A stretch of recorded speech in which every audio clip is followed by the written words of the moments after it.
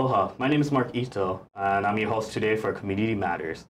In 1968, there was a plan to make radio frequency for a non-commercial educational radio FM frequency right here at the University of Hawaii at Manoa. 50 years later, it became known as KTUH, an island-wide broadcasting station for alternative radio. And like we say here at KTUH, it's radio for the people and the only station that loves you. Today I'm here with the current general manager and program director here, Smee Wong and Bjarne Bartlett. Me, Bjarne, Bjarne, thank you for coming to the show. Marc, thank you so much Thank for you, having Marc. me. Thank you. Thank you. So KTUH, um, can you guys give like a general description um, of what KTUH is and kind of like a little brief history of what it is about? Absolutely. Yeah. Um, well, KTUH is our college radio station at UH Manoa. Uh, Smee, you wanna you wanna talk a little bit about what we are? Yeah, we are student-run radio station, and uh, we have we, we provide mostly alternative program, uh, music program.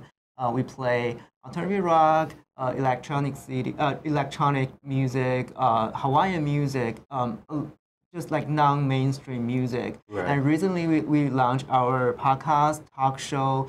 So we try to provide uh, some something other than just provide music. Right, and awesome. It's kind of like how it first started was kind of be more of like an educational Mhm. kind of like discussional kind of topic. Mhm.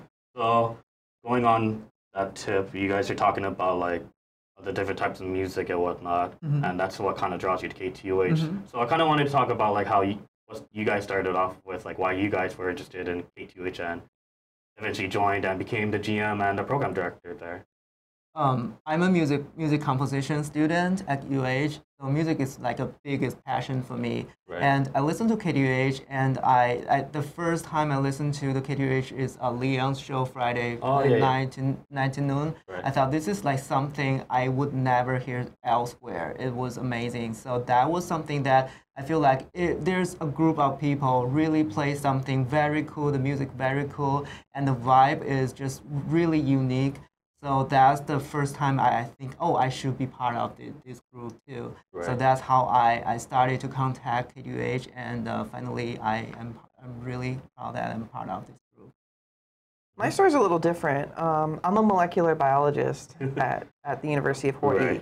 Um, what drew me to KTUH was being involved in college radio previously. Right. Um, I was an AV specialist at my undergraduate college, Gettysburg College.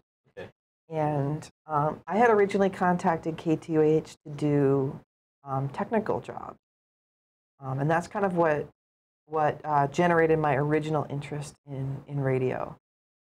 So, but um, what, the way I started at KTUH though was having a radio show.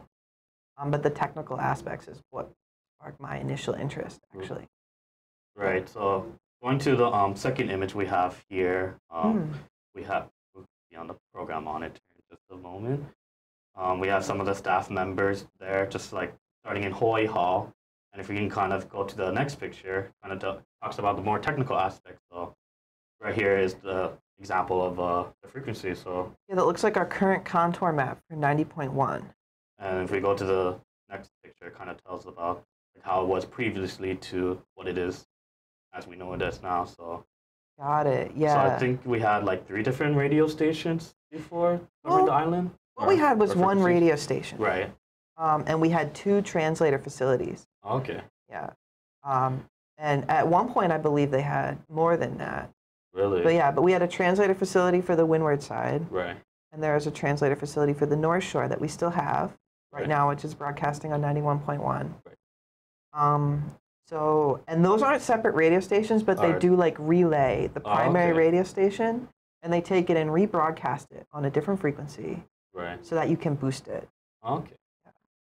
So kind of going back on like how they used to be more like little radio stations. KTUH Mhm. kind of start kind of had to fight their way to get to this like island bro- wide broadcasting, right? Yeah. Like I believe, believe like they started off just like a little AM frequency that you can only hear like at the university campus. Actually, yeah, they were broadcasting just in the dorms on Right. an AM carrier current. Yeah, um, before they started. It's kind of Yeah. like it's kind of amazing to see that like such a like small like thing as KTUH evolved to like a F being on the FM frequency and that can be heard island wide hmm and also online as well. So, which is a super cool thing, I think, for people that cannot catch it in Oahu but are like are on the neighboring islands or abroad. Yeah, radio stations are very involved um, organizations, and you can kind of tell that you know it's a very demanding organization to run, as Smee and I have both learned, you know, in our current roles.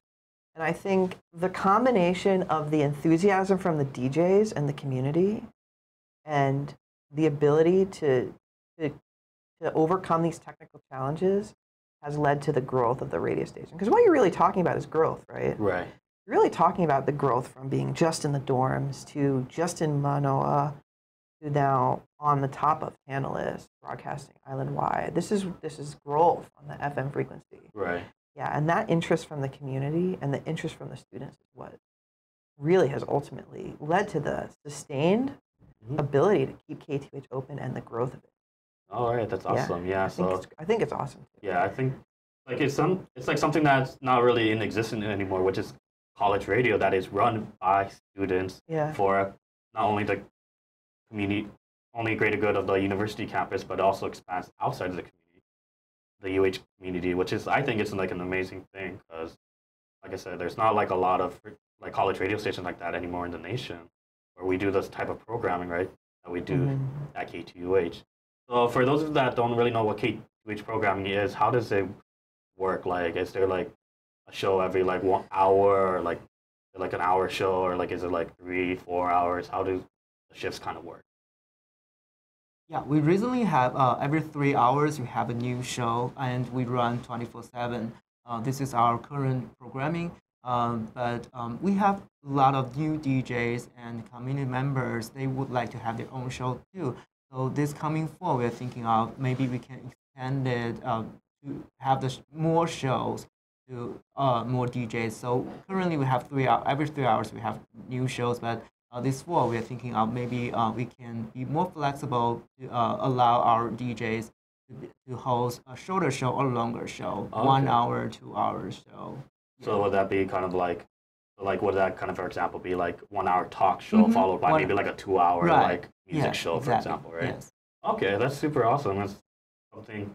Has any other college radio station in the nation kind of does similar programming like that, or is like, because I know you guys visited um other colleges recently, Mhm. Mhm. like outside of Mhm. Hawaii. So, can you guys kind of elaborate how that experience was like? I would say yes. Most of them actually are more.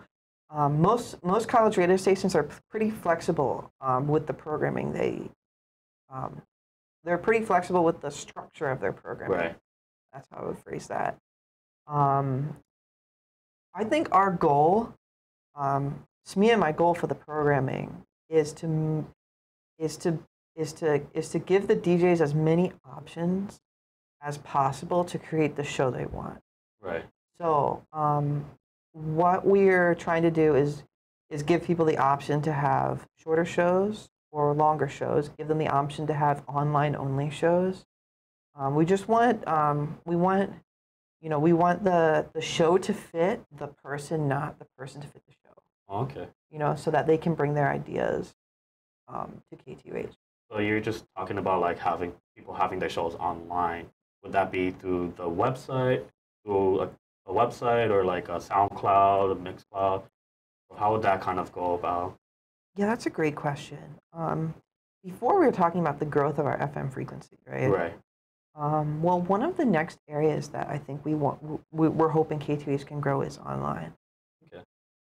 Um, and so we actually want to, to promote um, DJs to be able to publish shows in all of those areas that you just listed. Right. Mixcloud, SoundCloud, um, podcasting. Right. Our podcast is on many different platforms. It's on TuneIn, Spotify, Google Play. It's on iTunes, of course. Um, yeah, a lot of different. Um, uh, Stitcher, right? Yeah. Right. So there's yeah. It's on. It, we try to publish one feed on many different platforms. Okay. Yeah. That sounds awesome. So, kind of, so like we were saying, um, so 1969, KTUH first broadcasted, and right now the year is 2019, and it's Mhm. 50 years in the making right here. So, um, if we can go to the image that we have next, I believe it's our um, library vault of like 50 years worth of music and like from throughout the ages and whatnot. So, I mean, I know you talked about like music was the kind of like the reason why you gravitated towards KTUH and like are like amazed by like the variety, especially like with um Leon or Mr. Modular as Mhm. he's known on the radio station.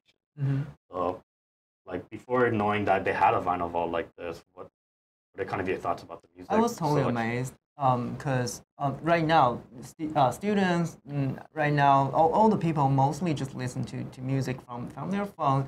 Uh, nobody, really, people buy CDs, vinyls anymore. But uh, we still use the traditional way to, to broadcast music. Most of our DJs uh, uh, bring in their own collection of CDs or vinyls. They, they use our uh, CD collection or vinyl collections. That's very unique. Uh, and that's spe- that's something special about radio radio industry. Uh, we we use the, the physical CD or vinyl. You can hear the like a scratch sound sometimes, Right. and you can hear the transition. Sometimes it's not perfect, like uh, compared to Spotify, but that's something human about it. Right. It's something uh, something passion. You can hear the, the DJ's passion when they really look for just one track of, of, of a song from uh, like a, a 10 track CDs and they have to look for one track from like thousand CD from our our CD library. Right. So it's, I kind of like the way you elaborated on the fact that like it's the human aspect of it, Mhm. like the um that like connection of like of the music not being so perfect, and it's just kind of just like you kind of like you say, you can kind of hear the scratching Mhm. from the vinyl or the CDs, and kind Mhm. of like there's kind of like that human element. It's not like Mhm. automation kind of Mhm. stuff where um people like we're in commercial, like a lot of commercial radio, just like kind of all automated and Mhm. it's very done, very structured, and Mhm. like with all that kind of stuff. So um, the next picture, kind of, I want to bring up is the um, library exhibit that we just had this past couple of months, couple of months, and just kind of like help celebrate. So these are some of the images that um, showcased what we had from like old, like vintage, like KTUH memorabilia from like DJ, like music logs to like um, staff, to old pictures of the staff members working at the station with the equipment, and just go through the next picture as well. Has like our equipment that they used to use like years ago. That's not, and like you can kind of give the idea of like what it is to be like a radio disc jockey more or less. Yeah, so, So- if we stick on this image, you see Yes. some really interesting stuff here. Um, Um, on the left, right, is a car tape player. Um, that is a stack of three, right? It can Right. hold three tapes. And those are these large analog tapes that they used to record short productions on. right. And so the DJ in the booth who was running a show would line up three tapes to play like during their breaks, Right. right? Um, when, you know, Oh yeah, yeah. yeah. So and- then would it kind of like go in succession? Like they play one tape, and then once that tape ends, they play the next tape, and they just kind of keep shuffling, to put in new like new programming tapes, right? Yeah. how it went? Yeah, that's an analog version of something that we do today. Right. Yeah. So there's also, um, if we had, went back to that picture, it also had like some like an old soundboard and Mhm. like some of the old microphones, yeah. and we also had a list. And like on the right of the soundboard was a says amplifier. Is that correct? Yeah, so um, that's an old airboard from our station that has a large power supply next to it. Yeah. Right. And then in the background as well, you can also see the um, current part of the current programming we have right now at Yeah. KTUH, and some pictures of our DJs and event and whatnot. Um, so right now we got to take a one minute break really quick just to catch our breaths and recollect ourselves. So we'll be back right after this. Hey, aloha everyone, and welcome to the Think Tech Hawaii studio. My name is Andrew Lanning. I'm the host of Security Matters Hawaii. We air here every Tuesday at 10 a.m. Hawaii time, trying to bring you issues about security that you may not know, issues that can protect your family, protect yourself, protect our community, protect our, our companies, the folks we work with. Uh, please join us, and uh, hope you can um, maybe get a little different perspective on how to live a little safer. Aloha. こんにちは。えー Think Tech Hawaii が日本語でお送りしています。こんにちはハワイ。ホストの国瀬ゆかりです。 えー毎週各週月曜日、 えー2時からですね日本語で日本語で活躍されていらっしゃるハワイのいろいろな方をお招きしてショーをゲストショーをお届けしています。えーぜひ、ご覧になってください。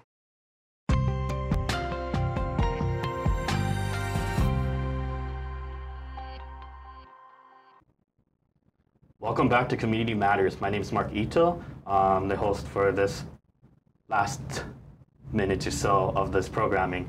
Uh, right here in the studio, I have with me Bjarne Bartlett and Smee Wong, who are the current GM and program directors here at KTUH, a college radio station located at the University of Hawaii at Manoa.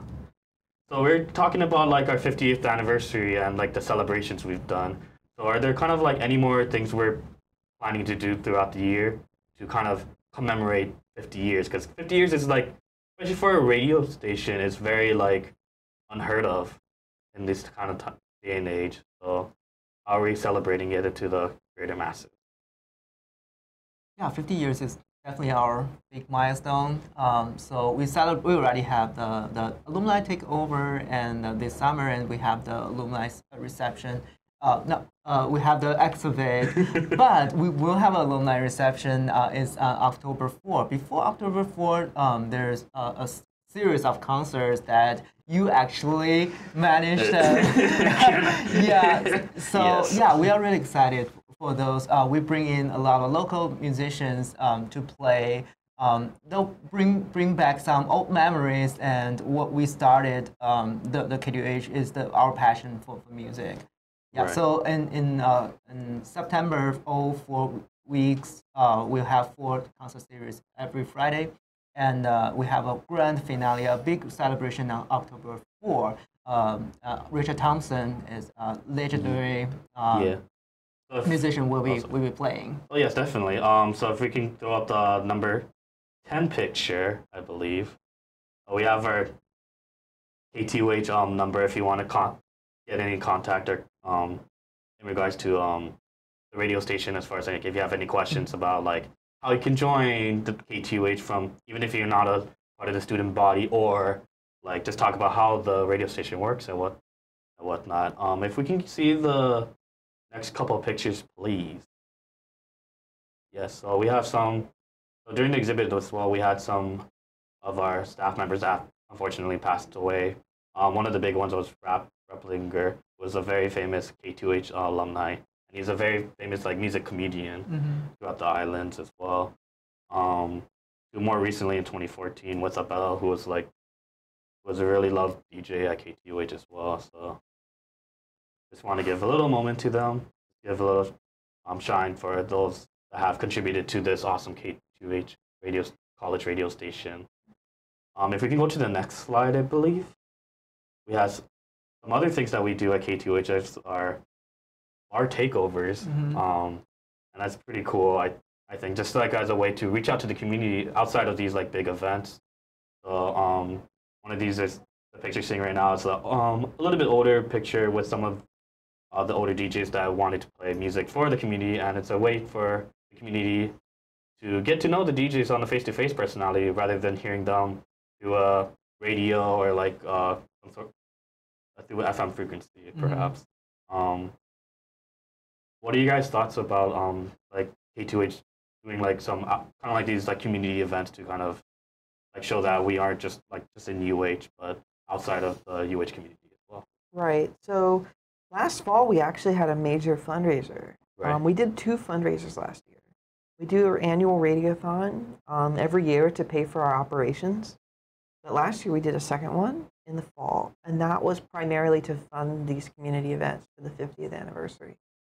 Um, and I believe, in, in my mind, the purpose of these events is to celebrate the 50th anniversary of like the local college radio station but it's also to give opportunities to local musicians and artists um, who who want to perform um, and want to be sort of you know recognized by the community as performers and for you know contributing to the local music the local music um, scene of which KTH has been a I think a major part for many years.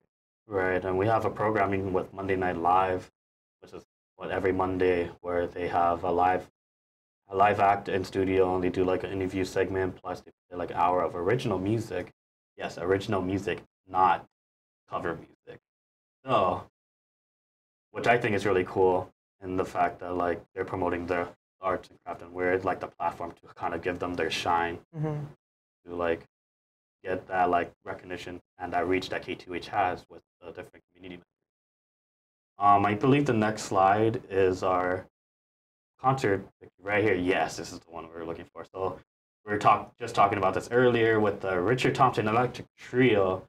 Yes, and Richard Thompson for um, the audience members that don't know who he is. He's a very famous um electric, very famous guitarist and by some of our own staff members says is one of the best in the world. So just to have him here to help celebrate 50 years of KTUH is an achievement and it's a great honor to have him here to help us celebrate with it. So we were talking about it's October 4th, uh, Friday. That's going to be a Friday at 8 p.m. at Hawaiian Brian's. Um, the address is less at 1680 Kapiolani Boulevard on the second floor. And there's a URL link there as well with ktuh50.brownpapertickets.com. If that's a little bit too long for some people, all you can just do is just go to the web to our website, right? That's Yes, um, ktuh.org, right? Yeah, so the ticket information and the prices are on the website Okay. and the link to purchase. Yes. Yeah. So saves you guys time. Just go to our website. Just click the, go follow the um, directions from there, and I'll show you everything as far as what we're planning for this big uh, concert series.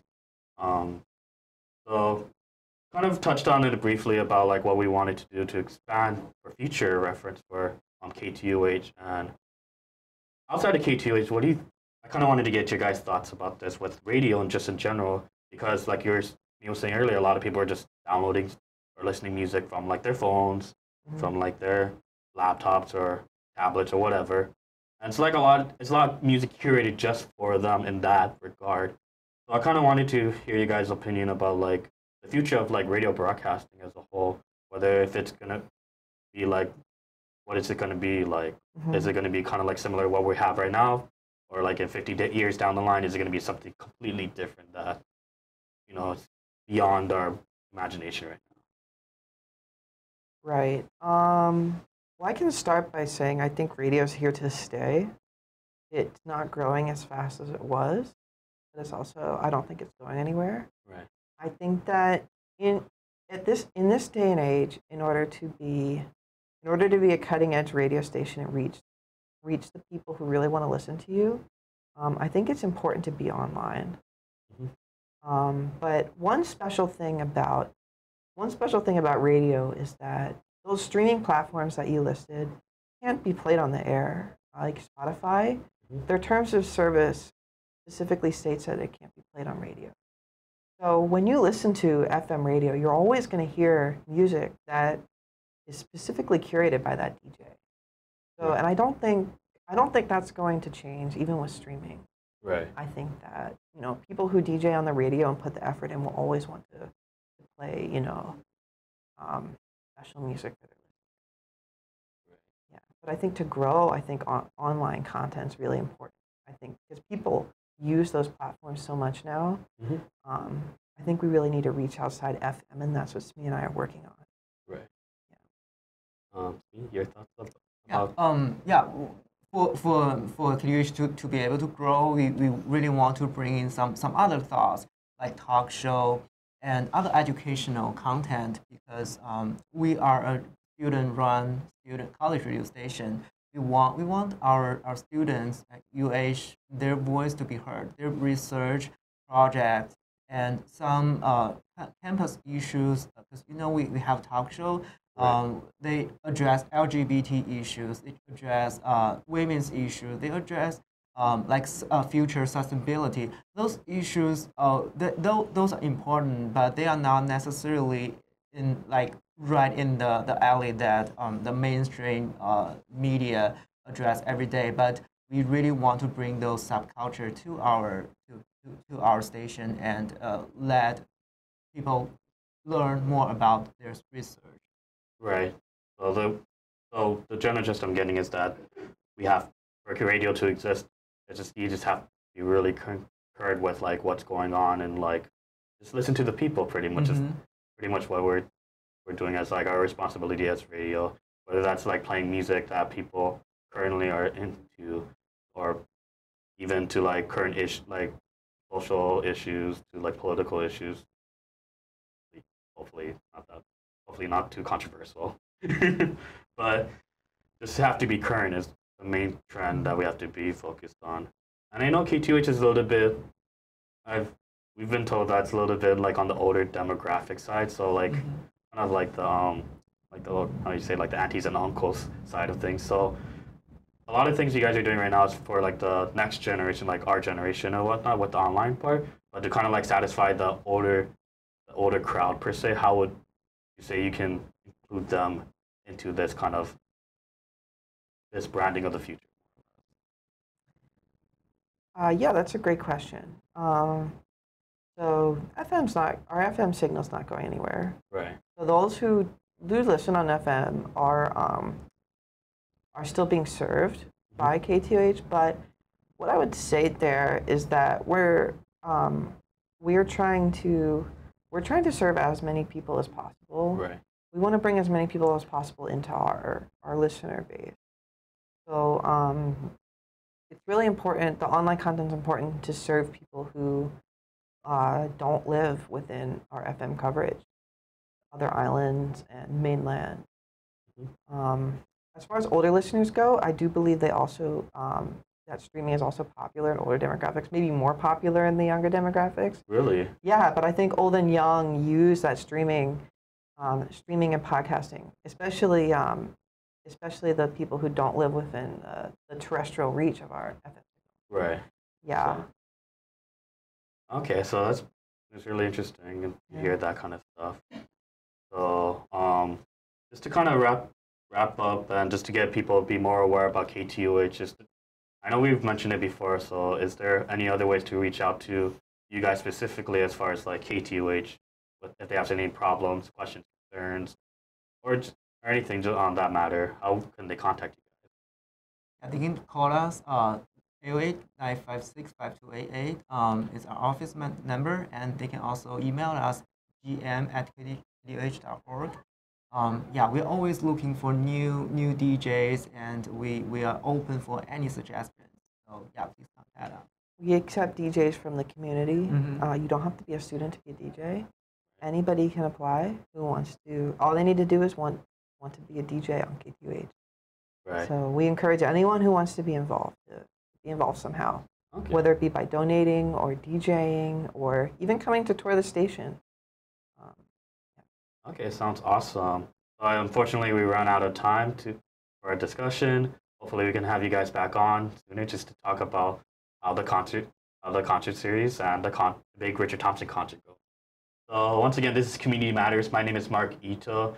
Thank you for tuning in, and for anything that's awesome, tune into ThinkTechHawaii.com. Aloha.